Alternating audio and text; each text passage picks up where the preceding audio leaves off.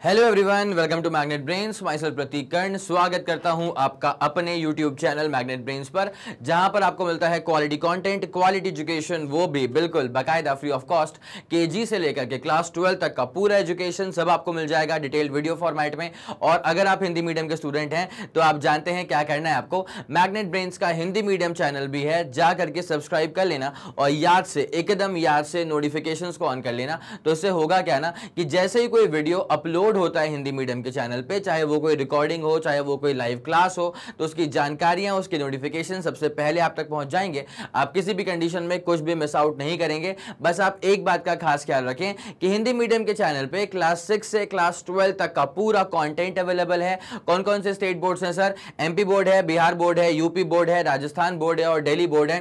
और अगर आपको ई नोट्स या ई बुक्स चाहिए तो इसी वीडियो के डिस्क्रिप्शन में एक लिंक मिलेगी आपको, जाकर के आप चेकआउट कर सकते हैं और वहाँ से आप आप ई नोट्स और ई बुक्स भी अवेल कर सकते हैं, ठीक है? तो चलिए हम जरा कहानी पे स्टार्टिंग करते हैं। तो class eleven physics chapter six नाम क्या है इसका? System of particles and rotational motion अब इसके अंदर हम पढ़ने वाले हैं एंगुलर वेलोसिटी और उसका relation with the linear velocity ठीक है? अगर कोई पार्टिकल अगर कोई बॉडी लीनियर मोशन में है तो उसके पास कौन सी वेलोसिटी होगी? लीनियर वेलोसिटी होगी। अब वहीं अगर कोई पार्टिकल या कोई बॉडी अगर रोटेशनल मोशन में है तो उस पार्टिकल की या फिर उस बॉडी की आप निकाल सकते हैं एंगुलर वेलोसिटी ठीक है? क्या निकाल सकते हैं? एंगुलर वेलोसिटी तो बिना समय लगाए आपको लेकर के चलते हैं इसके बेसिक आइडिया वाली स्लाइड के ऊपर। क्या लिखा हुआ है? कि we know that in pure rotation of a rigid body about a fixed axis every particle of the body moves in a circle which lies in the plane perpendicular to its axis ठीक है? अब जो इतनी अंग्रेज़ी में यहाँ पे ये चीज़ें लिखी हुई हैं हैं तो बड़ी इंपॉर्टेंट तो we know that pure rotation में, ऐसे ये प्योर रोटेशन यहाँ पे क्या हो रहा है कि हमने इस बॉडी को पकड़ा और इस बॉडी को ऐसे घुमा दिया, ठीक है? इस बॉडी में कोई भी लीनियर मोशन नहीं हो रहा है ये बॉडी आगे की तरफ़ नहीं जा रही है। ये बस बॉडी जो है ना, वो अपनी एक्सेस के अबाउट ऐसे ऐसे ऐसे ऐसे चक्कर काट रही है। कोई दिक्कत वाली बात तो नहीं है। ये जो बॉडी है, ये अपनी एक्सेस के आसपास सिर्फ़ और सिर्फ़ ऐसे करके बस चक्कर काट रही है। कोई दिक्कत वाली बात नहीं है यहाँ पे, ठीक है? तो प्योर रोटेशन में क्या होता है? अबाउट अ फिक्सड एक्सेस जब हो रहा होता है रोटेशन तो हर पार्टिकल जो होता है ना बॉडी का, वो एक सर्क्यूलर पाथ में मूव कर रहा होता है, जो कि आप यहाँ पर देख देख सकते हैं, ठीक है? ये अपने पास रिजिड बॉडी है। अब ये बनी होगी एन नंबर ऑफ़ पार्टिकल्स को मिला करके बोलो हाँ की ना। क्या बोला मैंने? ये जो रिजिड बॉडी है, ये बनी होगी एन नंबर ऑफ़ पार्टिकल्स को मिला करके, और यहाँ पे हर पार्टिकल की जो दूरी है ना, वो रोटेशन एक्सेस से अलग अलग हो सकती है, ठीक है? अब जरा गौर करें क्या होगा। जब ये रिजिड बॉडी पूरा रोटेशन में आ जाएगी, रोटेशन हमेशा किसी फिक्स्ड एक्सिस के अबाउट होता है, ठीक है? तो अगर ये बॉडी पूरा फुल रोटेशन में आ जाएगी तो बेसिकली क्या होगा कि ये जो पॉइंट होगा, ये जो पॉइंट मास होगा, ये भी इस सर्कुलर पाथ में मूव करने लगेगा। ये जो पॉइंट मास होगा, ये जो पॉइंट मास होगा, ये भी इस सर्कुलर पाथ में मूव करने लगेगा। बोलो कोई दिक्कत वाली बात तो नहीं है, सर, पूरा फंडा क्लियर है, ठीक है? अब जरा ध्यान देना, ये जिस सर्क्यूलर पाथ में मूव कर रहा है पार्टिकल वो जो सर्कल पे अगर आप फोकस करें, ठीक है? ये जो पार्टिकल है, ये सर्कुलर पाथ पे मूव कर रहा है, बोलो हाँ कि ना। तो अगर आप इस सर्कल पे फोकस करेंगे, अगर आप इस सर्कल पे फोकस करेंगे तो ये जो एक्सिस है ना, ये इस सर्कल के परपेंडिकुलर निकल गई है। ये जो एक्सिस है ना, ये इस सर्कल के परपेंडिकुलर निकल गई है। बोले हाँ कि ना, क्या आपको ये वाली बात समझ में आ गई है? यस सर सही बात है। जो ये सर्कल है, इसके परपेंडिकुलर एक्सिस निकल गई है। उसी चीज़ को यहाँ पे इंग्लिश में लिखा हुआ था कि every particle of the body moves in a circle her particle जो है ना every particle of the body this basically moves in a circle और जो ये सर्कल होता है जो ये सर्कल जिस प्लेन में लाई कर रहा है ना, वो रोटेशन एक्सिस के परपेंडिकुलर है। ये सर्कल जो है, ये सर्कल ये सर्कल जिस प्लेन में लाई कर रहा है, उस प्लेन के परपेंडिकुलर निकल गई है रोटेशन एक्सिस ठीक है? Which lies in a plane which lies in a plane perpendicular to the rotation axis और एक मज़ेदार बात क्या है कि इस सर्कल का जो सेंटर है, वो स्वयं रोटेशन एक्सिस पर ही आ रहा है। कोई दिक्कत तो नहीं है सर पक्का पूरा क्लियर है। And has its centre on the axis only तो ये बात को आप लोग समझ चुके हैं अच्छे से। अब जरा एक और खूबसूरत सी बात पे आपका मैं ध्यान लेकर के जाना, लेके चलना चाहूँगा। लेके जाना चाहूँगा। तो यहाँ पे क्या अपने पास एक रिजिड बॉडी अपन ने मान ली, मान ले आलू है या अदरक मान ले, ठीक है? तो अब ये क्या है भाई साहब? आए है गजब। एक तरफा। निकल गई ऐसे करके, ठीक है? अब जरा ध्यान देना भाई साहब, ये अपने पास में क्या हो जाएगी? रोटेशन एक्सेस अब अपने पास में ये क्या हो जाएगी सर रोटेशन एक्सेस हो जाएगी. अब ये जो बॉडी है ना, ये रोटेट कर रही है about this axis like this ये बॉडी ऐसे कर रही है रोटेट ये बॉडी ऐसे इस एक्सेस के अबाउट जो है ना, वो एकदम घूमी घूमी कर रही है। अब क्या होता है कि ये जो बॉडी है, बनी होगी एन नंबर ऑफ़ पार्टिकल्स को मिला करके, ये बॉडी बनी होगी एन नंबर ऑफ़ पार्टिकल्स को मिला करके तो मान लेते हैं अपन, देख, अब ना एक इंटरेस्टिंग चीज़ तो बता रहा हूँ मैं। सुनना बस दो मिनट। तो यहाँ पे अपन एक सर्कुलर पाथ ऐसा ले लेते हैं अपने हिसाब से। एक सर्कल थोड़ा सा बड़ा ले लेते हैं अपने हिसाब से। एक सर्कल थोड़ा सा छोटा ले लेते हैं अपने हिसाब से। अरे गजब यार, मज़ेदार, ठीक है?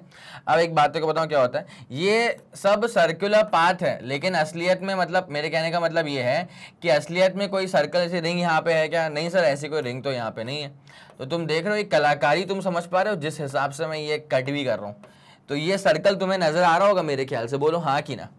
ये सर्कल तुम्हें नज़र और डायग्राम तुम्हें पसंद आ रहे हैं कि नहीं? सम, देखो भाई डायग्राम पसंद आने का मतलब ये होता है कि फिजिक्स में फिजिक्स में बेसिकली क्या है कि आपको करवाना है विजुअलाइज बहुत सारी चीज़ें, ठीक है? और चीज़ों को विजुअलाइज करवाने के लिए डायग्राम जो है, वो बनाने पड़ते हैं। तो अब जैसे मान लिया अभी ये एक्सेस पास कर रही है, इसके यहाँ से, इसे सेंटर से ऐसे सर्कल निकल रहा है। तो ये चीज़ें इमेजिन विजुअलाइज करवाने के लिए डायग्राम अच्छे होने बहुत ज़रूरी होते हैं, ठीक है? तो अपने कलाकारी के हिसाब से मैंने इसमें पूरा जो है जान झोंक दी है।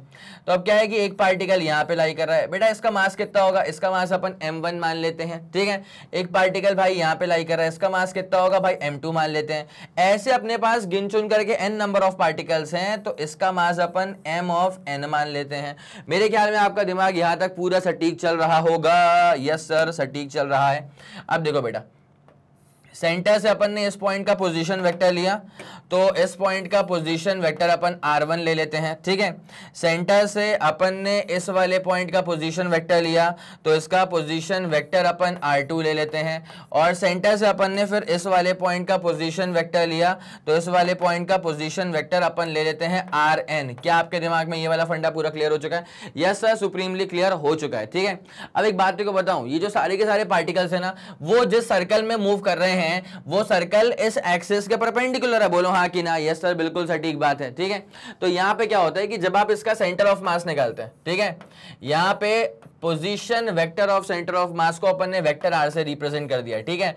So this is the position this is the position vector of centre of mass this is the position vector of centre of mass ठीक है?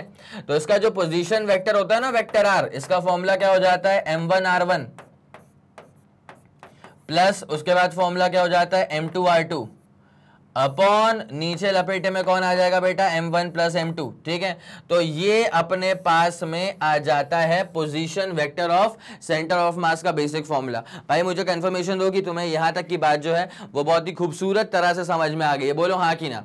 यस सर ये वाला फंडा पूरा क्लियर है। अब यहीं पर मैं तुमको एक चीज़ और दिखाता हूँ।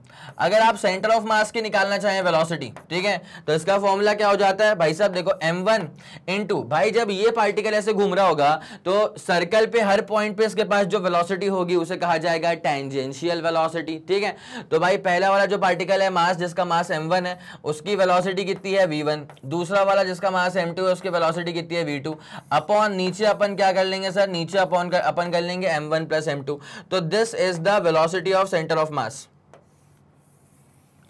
this is the velocity of centre of mass मेरे ख्याल से ये दोनों चीज़ें आपके दिमाग में एकदम शानदार तरह से क्लियर हो गई होंगी। तो जरा एक बार आप इसका स्क्रीनशॉट लेंगे। Three two one ready go super done and super clear yes sir ये वाला फंडा पूरा क्लियर हो चुका है। और उसके बाद यहाँ पे जो भी चीज़ें मैंने लिख के रखी हैं आपके लिए, वो अपने बेसिक आइडिया की सपोर्टिंग थ्योरी है। क्या है अपने बेसिक आइडिया की सपोर्टिंग थ्योरी है? तो मैं चाहूँगा जल्द से जल्द आप इसका स्क्रीन ले लें। और उसको मैं तो बोलता हूँ कॉपी में नोट कर लो भाई। ठीक है?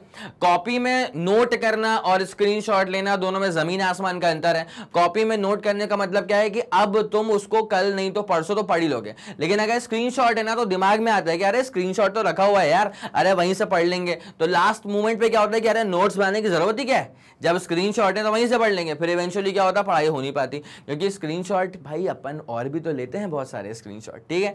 तो बहुत सारे स्क्रीनशॉट्स में जो ये, जो ब्लैक स्क्रीन का स्क्रीनशॉट होता है ना, ये कहीं खो जाता है। तो तुम समझ रहे हो जब तुम उसको ढूँढने के लिए जाओगे तो फिर तुम्हें बाकी सारे स्क्रीनशॉट भी दिखाई देंगे। तो भाई, इंसान डिस्ट्रैक्ट तो होगा इंसान है तो है ना? तो इसलिए मैं तुमको बोल रहा हूँ कि कॉपी में नोट कर लोगे ना, यहाँ पे कोई डिस्ट्रैक्शन नहीं होता है। तो अगर समय कम है तो स्क्रीन लो, लेकिन मेरा मानना है तो है कि कॉपी में नोट करते हुए चलो, फिर अपन आपको कहानी में आगे लेके चलते हैं। चलें फिर, बहुत शानदार, बहुत बढ़िया। ये वाला फंडा आपके दिमाग में पूरा सुप्रीम तरह से क्लियर हो चुका था। यस सर बेसिक आइडिया वाली स्लाइड थी। तो बेसिक आइडिया तो अपने दिमाग में आ चुका है, ठीक है? अब जरा कहानी में आपको आगे लेकर के चलते हैं। टॉपिक याद रखना रिलेशन निकालना है between angular velocity and the linear velocity अब जैसे लीनियर डिस्टेंस ट्रैवल करने में टाइम भी लगेगा तो अगर मैं लीनियर डिस्टेंस अपॉन टाइम कर दूँगा, अगर मैं लीनियर डिस्टेंस अपॉन टाइम कर दूँगा this will become eventually a linear velocity तो वैसे अगर मैं तुमको अभी के अभी बता दूँ ना कि व्हाट इज़ एंगुलर वेलोसिटी तो ये जो ओमेगा का सिंबल है ना, इस प्यार भरे सिंबल को अपन कहते हैं एंगुलर वेलोसिटी इस प्यार भरे सिंबल को अपन क्या कहते हैं बेटा? एंगुलर वेलोसिटी और जैसे लीनियर वेलोसिटी होता है लीनियर डिस्टेंस अपॉन टाइम उसी प्रकार एंगुलर वेलोसिटी हो जाएगा एंगुलर डिस्टेंस अपॉन टाइम ठीक है? या अगर बहुत ही प्यार आ जाए तो एंगुलर डिस्प्लेसमेंट कह देना। इसमें कोई मसला नहीं है, ठीक है? तो ये जो बेसिक आइडिया आपको समझ में आ गया। अब देखिए रिलेशन कैसे निकालना है, वो तो तू मेरे ऊपर छोड़ दे। उसमें कोई, इतना कोई टफ चीज़ नहीं होने वाली है। लेकिन जो बेसिक बेसिक टर्म्स होते हैं ना, उनका हमें ज्ञान तो होना चाहिए। तो ये वाला फंड आपको आता है। अब जरा गौर करते हो चलना क्या लिखा हुआ यहाँ पे?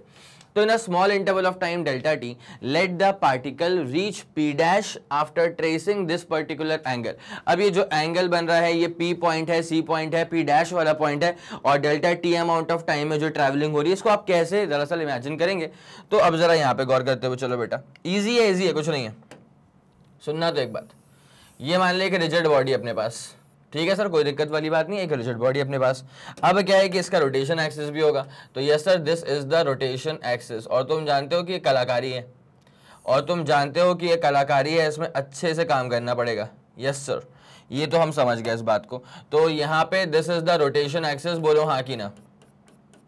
This is the rotation axis बोलो हाँ कि ना। यस सर पूरी बात एकदम सटीक है। अब जरा गौर करना ये जो पूरा बॉडी है ना ये ऐसे करके घूम गया इसके अबाउट है ना? अब जैसे मान लेता हूँ कि मैं एक ट्राइजेक्टरी आपके सामने पेश करना चाहूँगा।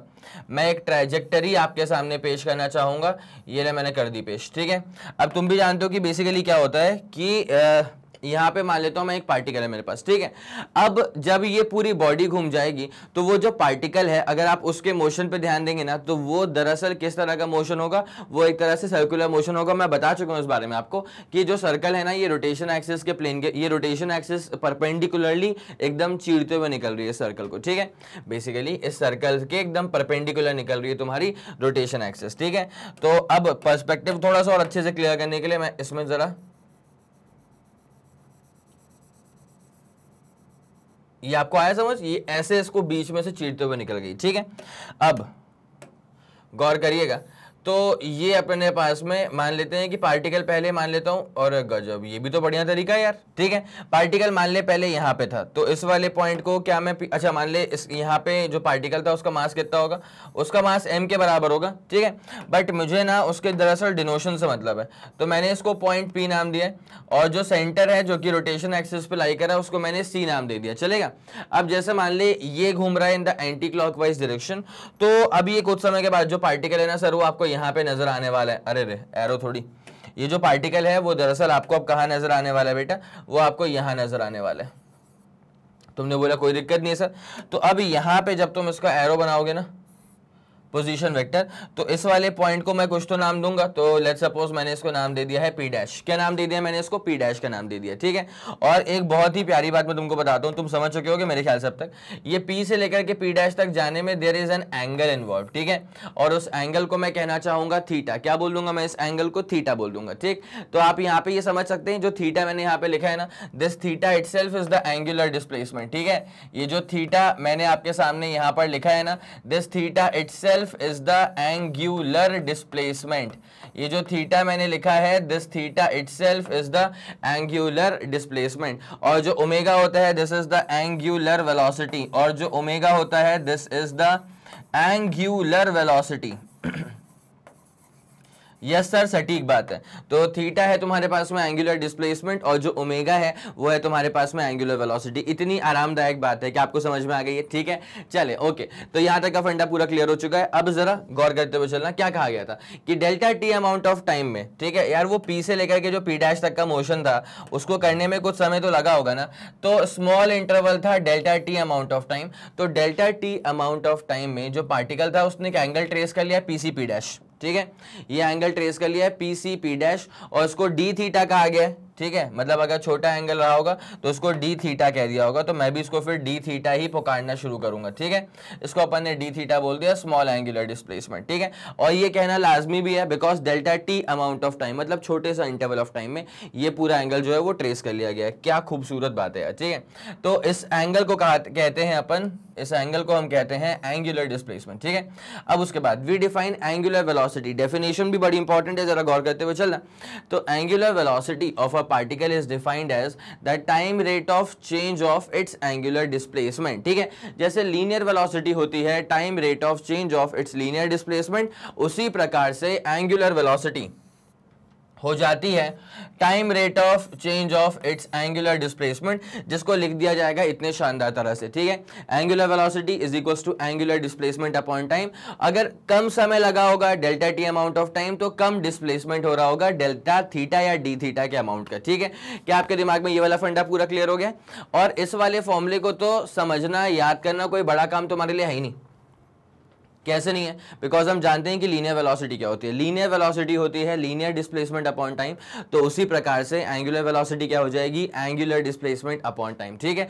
तो मेरे ख्याल से ये वाला फंडा भी सुप्रीम तरह से क्लियर होगा है ना? कभी कभी क्या लगता है कि सर इतनी ही सिंपल अगर पूरी ही फिजिक्स होती तो क्या मज़ा आ जाता? तो बेटा देखो होता क्या है। अगर ये आपको अभी सिंपल लग रहा है तो वो इसलिए लग, रहा है बिकॉज़ ये बेसिक बेसिक चीज़ें हैं ठीक है? अगर अपने आप बेसिक स्ट्रॉन्ग करेंगे ना तो आगे चल करके जो नए नए टॉपिक्स आएँगे ना उसमें आपको सिर्फ़ एक चीज़ करना करना पड़ेगा रिकॉल करना पड़ेगा, ठीक है? अगर आप सही से रिकॉल कर पाते हैं तो फिर आपको आगे वाले टॉपिक्स भी इजी लगते हैं। अगर आपका रिकॉलिंग सही से नहीं हो पाता है ना तो फिर आपको हर टॉपिक जो है, उसमें मुश्किल आती है। आए आपको समझ में बात? ठीक है, चले। तो अब मैं चाहूँगा एक बार आप इसका स्क्रीनशॉट ले लेंगे क्या? बिकॉज़ ये डेफिनेशन जो है, अति महत्वपूर्ण कैटेगरी की डेफिनेशन है और ये चीज़ बड़ी इंपॉर्टेंट है। ठीक है सर ओके डन हाँ जी, अब जरा गौर करते हुए चलना। हम लोग अगर कैलकुलस की तरफ़ बढ़ेंगे, ठीक है? कैलकुलस मतलब डिफरेंशिएशन और इंटीग्रेशन की तरफ़ अगर हम बढ़ेंगे तो वहाँ पे डेल्टा टी का टर्म नहीं आएगा, वहाँ पे डी टी का टर्म आएगा। किसका टर्म आएगा? डी टी का टर्म आएगा। अब डेल्टा टी और डी टी में क्या होता है? डेल्टा टी जो होता है ना, वो फिर भी एवरेज चेंज इन टाइम होता है। डेल्टा टी जो होता है ना, वो फिर भी क्या होता है? ये फिर भी एवरेज चेंज इन टाइम होता है। यहाँ ठीक है, दो सेकेंड से चार सेकेंड पे पहुँच गए। डेल्टा टी का मतलब क्या होता है? एवरेज चेंज इन टाइम कि हाँ ठीक है, दो सेकंड से चार सेकंड पे गए तो चेंज कितने का आ गया? दो सेकंड्स का आ गया। लेकिन डीटी क्या होता है? D T is the very small change in time D T is the very small change in time DT is the very small change in time अब सर ये very small change in time का basically मतलब क्या निकल करके आने वाला है यहाँ पे? तो जैसे मान ले अगर आ, दो सेकंड पे मेरा ऑब्जर्वेशन शुरू हुआ एक काम करते हैं इजी करते हैं। मान लो कि जब मैंने ऑब्जर्वेशन स्टार्ट किया टी इक्वल टू ज़ीरो था ठीक है? अब उसके ना अब मैं बोलता हूँ कि टी इक्वल टू ज़ीरो पर मैंने ऑब्जर्वेशन स्टार्ट किया। उसके बाद zero point zero zero zero two seconds के बाद बॉडी कहाँ पहुंचेगी? तो ये जो मैंने समय अंतराल दिया ना zero point zero zero two seconds का तो बेटा ये बहुत ही छोटा समय होता है और इतने छोटे समय को फिर अपन डी से करेंगे रिप्रेजेंट ठीक है? तो अब जरा मैथमेटिकली अगर हम एक चीज़ यहाँ पे अपनाना चाहें तो अगर मैं ऐसा बोल दू ना कि delta T tends to zero इसका मतलब क्या है कि एवरेज चेंज इन टाइम को बहुत छोटा कर दो, बहुत छोटा कर दो, बहुत छोटा कर दो। It is not equal to zero it is just tends to zero ठीक है? तो if delta T just tends to zero हो जाएगा ना तो यहाँ पे जो ये डेल्टा टी है ना this will eventually become D T ठीक है? Very small change in time हो जाएगा। तो यहाँ पे वही चीज़ लिखी हुई थी बेटा, कि अगर डेल्टा टी टेंस अरे रे रे रे ये कलाकारी नहीं करनी थी। अगर मैंने बोला है कि if delta T tends to zero ठीक है? तो वो जो रेशो नहीं आया था अभी एंगुलर वेलोसिटी का, कौन सा रेशो आया था सर एंगुलर वेलोसिटी का? जरा यहाँ पे देखना। Delta theta upon delta T, ठीक है? तो अगर मैंने यहाँ पे लिमिट लगा दिया कि delta T tends to zero हो गया तो जो ये delta theta upon delta T था ना, वो किसमें कन्वर्ट हो जाएगा? वो फिर कन्वर्ट हो जाएगा D theta upon D T में। मैंने कहा था if delta T tends to zero तो फिर ये कन्वर्ट हो जाएगा डी टी में। तो if delta T tends to zero तो जो ये रेशियो है ना, ये ratio approaches a limit which is the instantaneous angular velocity delta theta upon delta D theta upon D T से आप इसको रिप्रेजेंट करेंगे, ठीक है? और फिर ओमेगा का फॉर्मूला क्या हो जाएगा? D theta upon D T जो पहले delta theta upon delta T हुआ करता था, वो अब D theta upon D T बन जाएगा, ठीक है? मैं आपको इसको ना थोड़ा सा ये तो अपना हो चुका था बट मैं इसी में एक काम कर देता हूँ आपके लिए। दो मिनट ज़रा आप गौर करेंगे तो मज़ा आ जाएगा आपको। ना सुनना मेरी बात को अच्छे से। एंगुलर वेलोसिटी को हमने क्या बोला है? Delta theta upon delta T, ठीक है? कि स्मॉल इंटरवल ऑफ़ टाइम में क्या स्मॉल एंगुलर डिस्प्लेसमेंट प्रोड्यूस हो गया, ठीक है? अब एक काम करेंगे, अगर हम यहाँ पे लिमिट्स लगा दें, ठीक है? अगर हम यहाँ पे लिमिट लगा दें कि लिमिट लग गई है delta T tends to zero वाली, अगर हम लिमिट लगा दें कि लिमिट लग गई है delta T tends to zero वाली तो ये कितना हो जाएगा? Delta theta upon delta T, और इसको फिर अपन क्या बोल सकते हैं? D theta over D T इसको हम क्या बोल सकते हैं, सर? इसको हम बोल सकते हैं D theta over D T बस, इसका मतलब कहीं ना कहीं अगर मैं कैलकुलस के नज़रिए से इसको देखूँ ना तो एंगुलर डिस्प्लेसमेंट का जो डिफ्रेंसिएशन होता है, वो हो जाता है एंगुलर वेलोसिटी ठीक उसी प्रकार, जैसे लीनियर डिस्प्लेसमेंट का डिफ्रेंसिएशन लीनियर वेलोसिटी होता है, उसी प्रकार एंगुलर डिस्प्लेसमेंट का डिफ्रेंसिएशन जो है, वो एंगुलर वेलोसिटी हो जाएगा। क्या आपको ये वाली बात समझ में आ गई है? बड़े इतमान से मुझे बताना कि क्या आपको ये वाला फंडा पूरा समझ में आ गया। ठीक है? लिमिट्स में कैसे खेलेंगे वो समझ में आ गया। लिमिट्स लगा देंगे तो जो एवरेज चेंज है ना this will automatically be converted to instantaneous change ठीक है? किसमें कन्वर्ट हो जाएगा? इंस्टेंटेनियस चेंज में कन्वर्ट हो जाएगा ठीक है? चले सर ओके तो ये वाला फंडा पूरा क्लियर हो चुका है मैं चाहूँगा इस, इसका भी स्क्रीन ले लो भाई। मैं चाहूँगा तुम इसका भी स्क्रीन ले लो कोई शर्माने वाली बात नहीं है ठीक है? ओके ओके ओके अपनी ही क्लासेस चल रही है। Okay done done done done अब आते हैं angular velocity is measured in radian per second भाई, ये कैसे बोल सकते हैं कि एंगुलर वेलोसिटी को रेडियन पर सेकंड में मेजर करना है? ठीक है?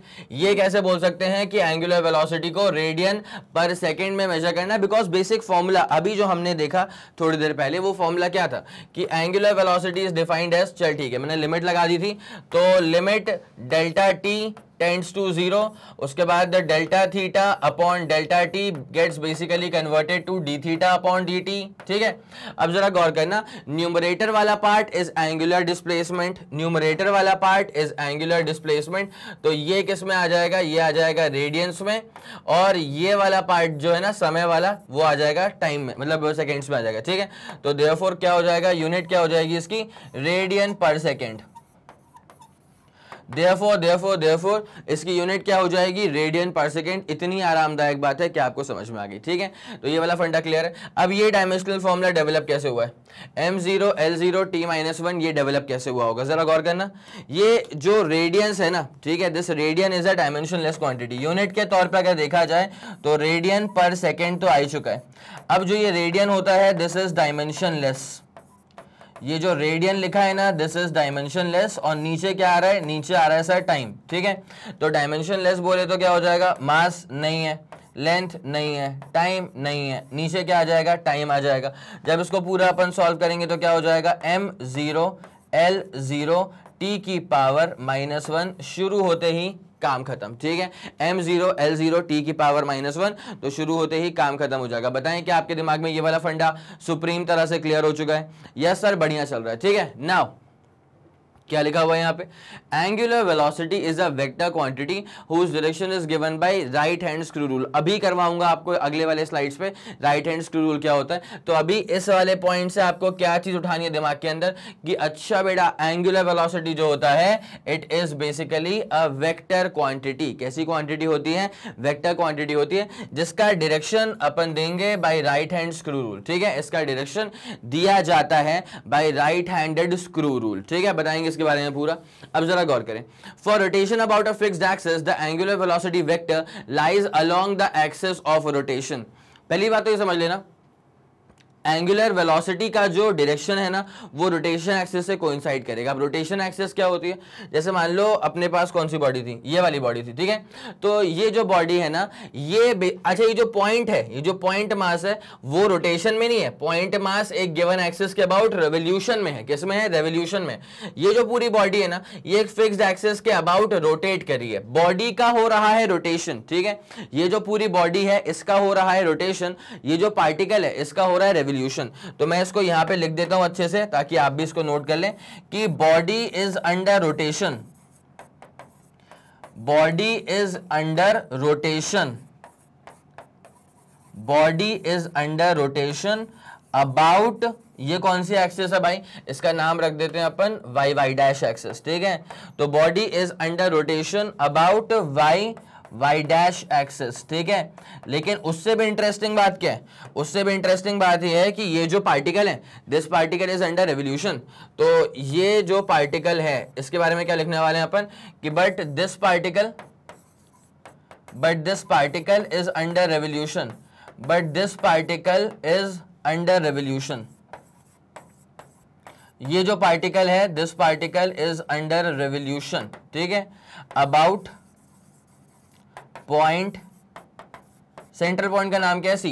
तो ये जो पार्टिकल है, वो अंडर रेवोल्यूशन है अबाउट द पॉइंट सी इतनी आरामदायक बात है, ये दो स्टेटमेंट्स अपने पास अभी नए नए ऐड हो गए तो मैं चाहूँगा कि अपने ज्ञान के भंडारे में आप इन दो स्टेटमेंट्स को भी ऐड कर लेंगे, ठीक है? ओके डन सर डन बढ़िया।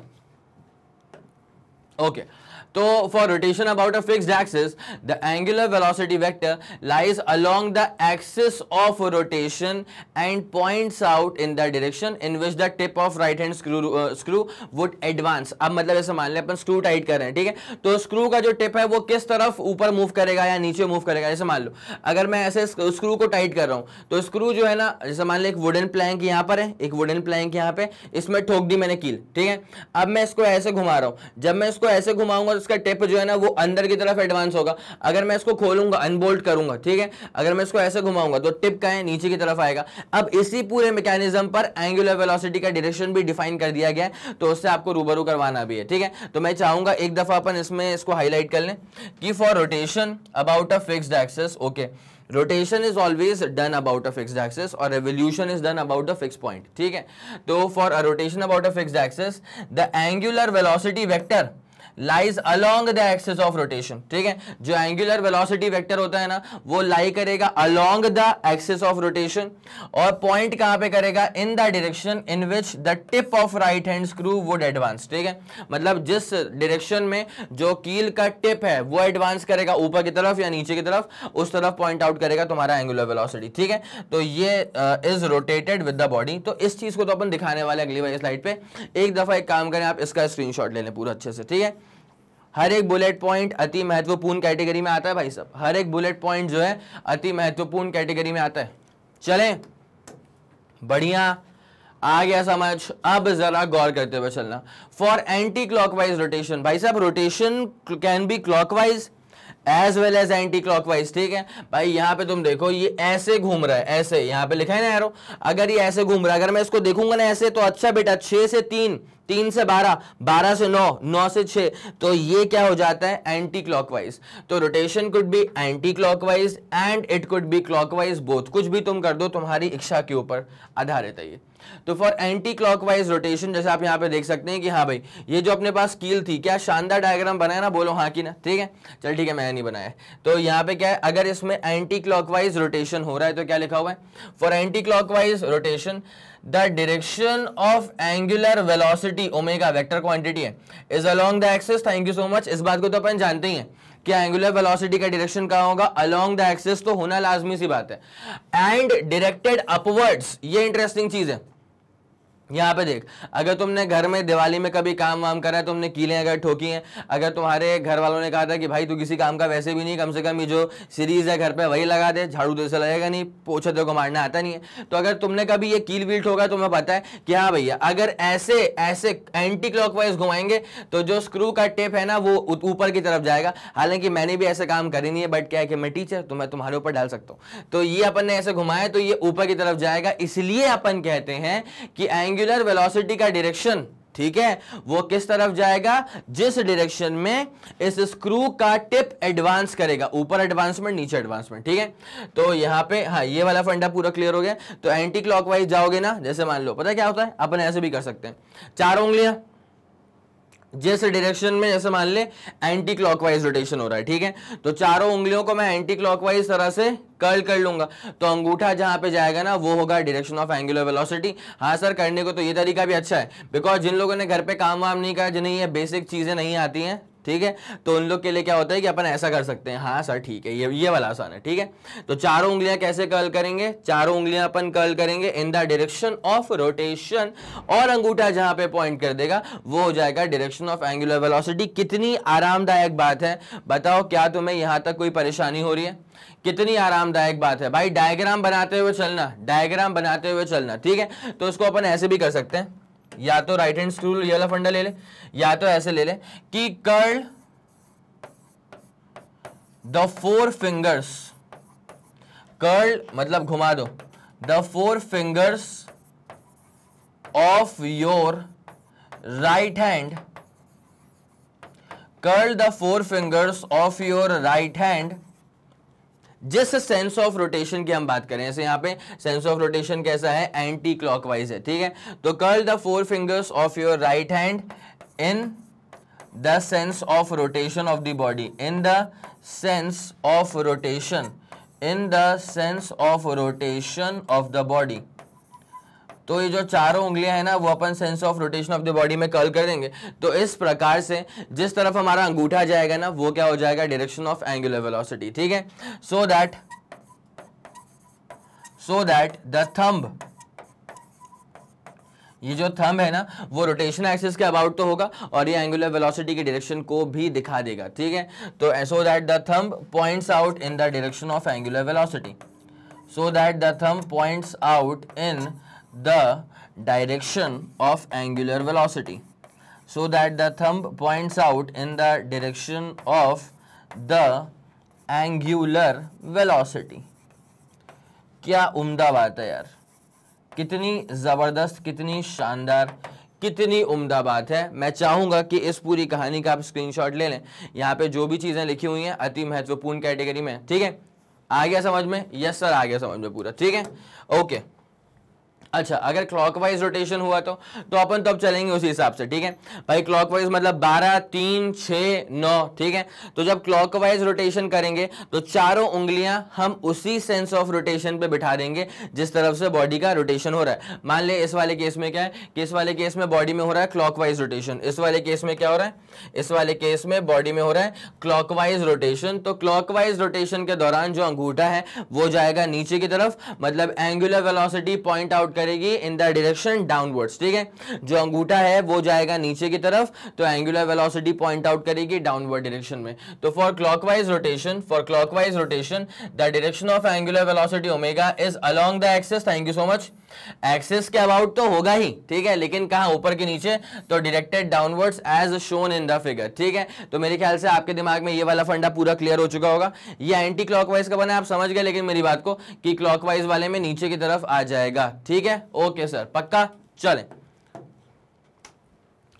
अब यहाँ पे आपके पास नहीं है, चारों के चारों सेटअप मैंने एक साथ दिखा दी हैं, ठीक है? चारों के चारों सेटअप देखो भैया, अगर एंटी क्लॉकवाइज रोटेशन है तो स्क्रू कहाँ जाएगा? ऊपर की तरफ़ जाएगा। तो आप इसको ऐसे भी कर सकते हो कि भैया, चारों उंगलियाँ कर्ल कर दो direction of sense of rotation में एंटी क्लॉकवाइज में कर दो। तो अंगूठा हो गया एंगुलर वेलोसिटी के डायरेक्शन में। इसको देख लो भाई साहब, ये क्या है? ये क्लॉकवाइज रोटेशन है। भाई साहब, ये अपने पास एंटी क्लॉकवाइज क्यों था? तीन छ नौ और पीछे आ रहा होगा बारह, ठीक है? भाई, यहाँ पे आप तीन से बारह जा रहे हो मतलब क्या हो जाएगा? एंटी क्लॉकवाइज यहाँ पे देख लो, ये क्लॉकवाइज कैसे है? भाई, ये अपने पास पीछे क्या आ रहा होगा? बारह आ रहा होगा, ठीक है? इधर क्या आ रहा है? तीन आ रहा है। इधर क्या आ रहा है? छह आ रहा है। इधर क्या आ रहा है? नौ आ रहा है। तो आप जैसे गए ना, वो देखो, बारह से तीन तीन से छह छह से नौ नौ से बारह मतलब क्लॉकवाइज ठीक है? तो जब क्लॉकवाइज आप जाओगे, जब आप क्लॉकवाइज डायरेक्शन में जाओगे तो आपका अंगूठा कहाँ जाएगा? नीचे की तरफ़ जाएगा। तो एंगुलर वेलोसिटी कहाँ जाएगी? नीचे। अगर आप स्क्रू की की बात करेंगे, ठीक है? तो अगर आप इसको कभी क्लॉकवाइज घुमाओगे ना तो क्लॉकवाइज घुमाने से ये जो स्क्रू है ना, वो नीचे की तरफ़ आएगा अनबोल्टिंग हो जाएगी। और जब क्लॉकवाइज घुमाते हो ना तो जो स्क्रू का टिप है, ऊपर की तरफ़ जाता है, ये जो नट है, वो टाइट होना शुरू हो जाता है किसी भी वुडन प्लैंक में या किसी भी बॉडी के अंदर, ठीक है? ये वाला फंडा पूरा क्लियर है क्या? जल्दी बताओ, क्या तुम्हें यहाँ तक की बात पूरी समझ में आ गई है? या सर यहाँ तक का फंडा पूरा क्लियरली समझ में आ चुका है, ठीक है? चलें। अब आपको लेकर के आते हैं relation between angular velocity and linear velocity ठीक है? लेकर के आते हैं आपको relation between angular velocity and linear velocity तो ये वाला डायग्राम पूरा क्लियर था अपने को? ऐसा पूरा क्लियर था। अब मैं इसी में कुछ कारनामा कर देता हूँ। अब मैं इसी डायग्राम में कुछ कारनामा कर दूँगा। ये आपको एंगुलर डिस्प्लेसमेंट ये सब चीज़ें आप लिख चुके थे, ठीक है? अब मैं इसमें हल्का सा कारनामा क्या करूँगा? डेरिवेशन स्टार्ट करूँगा इसका, ठीक है? तो आपको ये पता होता है, ये जो आप सर्कल देख रहे हैं ना ये सर्कल के एकदम परपेंडिकुलर निकल रहा है, तुम्हारा क्या? रोटेशन एक्सेस कोई दिक्कत वाली बात नहीं सर होता है, ऐसा तो होता ही है, ठीक है? अब एक काम करते हैं, अगर मैं इसका टॉप व्यू लेता हूँ, ठीक है? ये तो उसका साइड व्यू था। अगर मैं इसका टॉप व्यू लेता हूँ, अगर मैं इसका टॉप व्यू लेता हूँ तो टॉप व्यू लेने पे क्या होगा बेटा? कि ये सर्कल मेरे को पूरा तरीके से, ये अभी इलेक्ट्रिकल क्यों दिखाई दे रहा है? क्योंकि मैंने इसका साइड व्यू लेके रखा है। जब टॉप व्यू लूँगा तो क्या होगा? मेरे को ये प्रॉपर सर्कल ही दिखाई देगा। ठीक है? मेरे को ये प्रॉपर सर्कल ही दिखाई देगा। ये रहा अपने पास एक प्रॉपर सर्कल ठीक है? यहाँ तक का फंडा पूरा क्लियर है? यस सर यहाँ तक का फंडा पूरा क्लियर है। ठीक? अब देख क्या होता है। सेंटर से अपन ने इसको मारा। इनिशियल पोजीशन वेक्टर सेंटर से अपन ने इसको मारा, फाइनल पोजीशन वेक्टर, ठीक है? तो आप समझ सकते हैं कि यहाँ पर ये जो पॉइंट है, ठीक है? ये पी था, फिर वो पी डैश हो गया था, उसकी मैं बात नहीं कर रहा हूँ। मैं बस ये बोल रहा हूँ कि this is the initial position ठीक है? And this is the final position ठीक है? बढ़िया सर, यहाँ तक का फंडा भी पूरा क्लियर हो चुका है। अब क्या होता है कि भाई साहब, यहाँ पे अगर देखा जाए तो यहाँ पर एक एंगल सबटेंड हो रहा है थीटा के बराबर, और ये वाला जो हिस्सा है वो लेंथ ऑफ़ आर्क के बराबर है। इसको बोल देंगे अपन आर ठीक है? पक्का? बढ़िया चल रहा है सर। तो अगर आप बेसिक फॉर्मूले के ऊपर जाएँगे, अगर आप बेसिक फॉर्मूले के ऊपर जाएँगे तो थीटा होता है length of arc by radius ठीक है? तो therefore L is equal to क्या हो जाएगा सर? आर थीटा ठीक है? बेसिक फॉर्मूला क्या होता है? Theta is equal to length of arc by radius तो एल क्या हो जाएगा? ये हो जाएगा आर इंटू थीटा अब मैं क्या बोलना चाह रहा हूँ? भाई काम करना है इसको डिफ्रेंशिएट मारना यार। मैं क्या बोलना चाह रहा हूँ कि भाई काम कर, इसको डिफ्रेंशिएट मार दे। ठीक है? और किसके रिस्पेक्ट में डिफरेंशिएशन करेंगे? तो सर डिफरेंशिएशन अपन कर देते हैं सर यहाँ पे टाइम के रिस्पेक्ट में, ठीक है? जैसे ही अपन टाइम के रिस्पेक्ट में डिफरेंशिएशन करना स्टार्ट करेंगे तो आपको ये बेसिक चीज़ें पता होनी चाहिए कि अगर आप लीनियर डिस्प्लेसमेंट का डिफरेंशिएशन करते हैं टाइम के रिस्पेक्ट में तो क्या चीज़ मिलती है आपको? सर शुरू हो जाते हैं। तो लीनियर डिस्प्लेसमेंट का डिफ्रेंसिएशन करेंगे और यहाँ पे आर को रखेंगे बाहर और फिर यहाँ पे कर देंगे एंगुलर डिस्प्लेसमेंट का डिफ्रेंसिएशन तो लीनियर डिस्प्लेसमेंट का differentiation is going to give you linear velocity और उसी तरह से जिस तरह से लीनियर डिस्प्लेसमेंट का डिफ्रेंसिएशन लीनियर वेलोसिटी होता है, उसी प्रकार, उसी प्यार से, उसी खूबसूरती के साथ एंगुलर डिस्प्लेसमेंट का डिफ्रेंसिएशन जो है, वो एंगुलर वेलोसिटी के बराबर हो जाएगा। क्या आपके दिमाग में ये वाला फंडा क्लियर हो गया? ये आ गया आपके पास में रिलेशन मैं चाहूँगा जल्द से जल्द आप इसका स्क्रीनशॉट लें। जल्दी से जल्दी आप इसका स्क्रीनशॉट लें। चले भाई, ठीक है, यहाँ तक का फंडा पूरा क्लियर हो चुका है। अब जरा हाँ तो ये अपने पास रिलेशन आ चुका है V is equals to R omega वाला, ठीक है? ये अपने पास रिलेशन हो चुका है डन कौन सा relation sir V is equals to R omega ये तो नॉर्मल इसका रिप्रेजेंटेशन है, ठीक है? लेकिन जो इसका वेक्टर रिप्रेजेंटेशन है, वो बड़ा इंटरेस्टिंग है, ठीक है? इसका जो वेक्टर रिप्रेजेंटेशन है, वो बड़ा इंटरेस्टिंग है। इसमें आर क्रॉस ओमेगा नहीं होता है। इसमें होता है ओमेगा क्रॉस आर और दोनों में भारी अंतर है भाई। आर क्रॉस ओमेगा और ओमेगा क्रॉस आर दोनों का जो डायरेक्शन है ना, वो एक दूसरे के ऑपोजिट जाता है। मैं आपको याद दिलाऊं आई क्रॉस जे कर ले, क्या आंसर आता है? के आता है। लेकिन जे क्रॉस आई करके देखना आंसर माइनस के आ जाएगा। आई मेरी बात समझ में? तो इस बात का जरा आप ध्यान रखेंगे। This is the vector representation पहले मैं चाहूँगा, एक दफ़ा आप इसका स्क्रीनशॉट ले लें। उसके बाद एक बेसिक न्यूमेरिकल करवा करके फिर इसको अपन समाप्त करते हैं। ठीक है? डन यस सर अब जैसा मान लीजिए, अगर मैं आपको बोल दूँ, एक क्वेश्चन के फॉर्मेट में आपसे मैं अगर बोल दूँ कि ओमेगा टू माइनस थ्री और फोर के कैप है और आर जो है five two three K cap है तो what is going to be the linear velocity तो आप जानते हैं लीनियर वेलोसिटी जो होती है, वो क्या होती है? वो होती है ओमेगा क्रॉस आर वो होती है ओमेगा क्रॉस आर ठीक है? तो पहले अपन क्या करेंगे? पहले अपन बनाएँगे इसका प्रॉपर डिटर्मिनेंट ठीक है? पहले अपन बनाएँगे इसका प्रॉपर डिटर्मिनेंट यहाँ पे लग जाएगा आई कैप यहाँ पे लग जाएगा जे कैप यहाँ पे लग जाएगा के कैप तो भाई ये क्या होता है? By default plus by default minus by default plus ठीक है? अब जरा गौर करते हुए चलना। पहले ओमेगा आएगा, बाद में आ रहेगा ओमेगा कितना है? टू माइनस थ्री और फोर क्या है ओमेगा टू माइनस थ्री और फोर और आर कितना है? फाइव टू और थ्री फाइव है टू है और थ्री है। यहाँ तक का फंडा पूरा क्लियर हो गया यस सर सुप्रीमली क्लियर हो चुका है। यहाँ तक का तो फंडा। अब जरा गौर करना नॉर्मल सा होता है क्रॉस मल्टीप्लीकेशन को सॉल्व करना। कैसे सॉल्व किया जाएगा नॉर्मल सा क्रॉस मल्टीप्लीकेशन जरा गौर करते हुए चलो। बाई डिफ़ॉल्ट आई कैप वाला प्लस चल रही है आजकल तो प्लस रख दिया इसको अपन ने। कोई दिक्कत नहीं है। इसका कॉलम छुपा दीजिएगा, इसका रो भी छुपा दीजिएगा।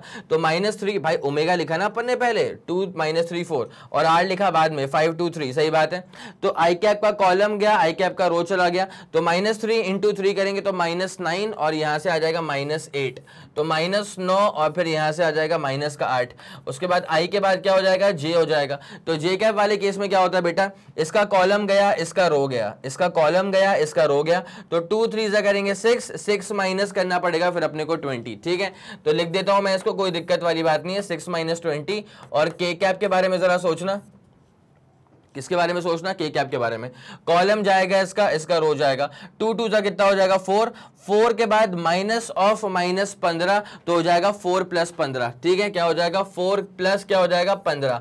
अब उसके बाद अपने पास जो ये वेलोसिटी वेक्टर आ रहा है, वो कितना आ रहा है? माइनस नौ माइनस आठ का मतलब होता है माइनस सत्रह आई कैप उसके बाद छह माइनस बीस करेंगे तो कितना हो जाएगा? माइनस का चौदह। और माइनस का फोर्टीन और माइनस का जे तो प्लस का फोर्टीन क्या हो जाएगा बेटा? जे कैप उसके बाद यहाँ पे कितना हो जाएगा? 19 का के कैप ठीक है? बस बात ही खत्म तो ये तुम्हारे पास में आ जाती है velocity in metre per second velocity आ चुकी है इन मीटर पर सेकेंड शुरू होते ही बात हो गई है खत्म। क्या आपके दिमाग में ये वाला फंडा सुप्रीम तरह से क्लियरली बैठ गया है? यस सर एकदम बेहतरीन तरह से बैठ गया, ठीक है? तो रिलेशन जो था between angular velocity and linear velocity ये अपना हो चुका है डन इसी के साथ खत्म होता है ये लेक्चर अब मुझे लग रहा है कि आपको ये पूरी कहानी, पूरी बात जो थी, वो आपके दिमाग में सटीक तरह से बैठ गई होगी. अगर आपको भी लगता है कि इस वीडियो ने आपकी हेल्प करी है तो ज़रा प्यार बरसाएँ इस वीडियो के ऊपर. इस वीडियो को लाइक करें. सबसे ज़्यादा इंपॉर्टेंट बात क्या है? इस वीडियो को फैला दो अपने सारे मित्र मंडल में. सबको बता देना कि मैग्नेट ब्रेन्स के चैनल पर प्ले में फिजिक्स में क्या क्या शानदार चीज़ें ऐड हो चुकी हैं और क्या ज़बरदस्त चीज़ें आप तक और भी जल्द से जल्द पहुँचने वाली हैं. ठीक है? अगर आपका कोई भी फीडबैक है या सजेशन है, तारीफ़ है या बुराइयाँ हैं या जो कुछ भी हैं तो बड़े प्यार भरे शब्दों में अपनी सारी बातें आप मुझ तक पहुँचा सकते हैं यूजिंग द कमेंट सेक्शन मैं और मेरी पूरी टीम सुपर एक्टिव रहती है यार, ठीक है? हम लोग डे बाय डे चेक करते रहते हैं कि इस वीडियो के नीचे क्या कॉमेंट आया था, इस वीडियो के नीचे क्या कहा जा रहा था, बच्चे क्या डिमांड कर रहे हैं, कौन सी बातें ऐसी ही कह दी गई थी, ठीक है? तो हम लोग पूरा अच्छे से उसको बैठ करके देखते हैं, समझते हैं, ठीक है? अगर आपका फीडबैक जेन्यून रहेगा, अगर लगता है उस पर काम किया जा सकता है तो उस पर बिल्कुल काम किया जाएगा दैट्स अ गारंटीड थिंग अब इसी के साथ खत्म करते हैं इस पूरे वीडियो को। और जैसे कि आप सब जानते हैं कि मैग्नेट ब्रेन्स जो प्रोवाइड करता है, वो है English medium as well as Hindi medium वाली classes with entire full complete syllabus coverage CBSE board Delhi board Bihar board UP board MP board Rajasthan board और वैदिक मैथ्स क्रैश कोर्स और spoken English इसके अलावा अगर आपको कोई भी इंफॉर्मेशन चाहिए तो आप मैग्नेट ब्रेन्स के ऑफिशियल वेबसाइट पर विज़िट कर सकते हैं। Thank you so much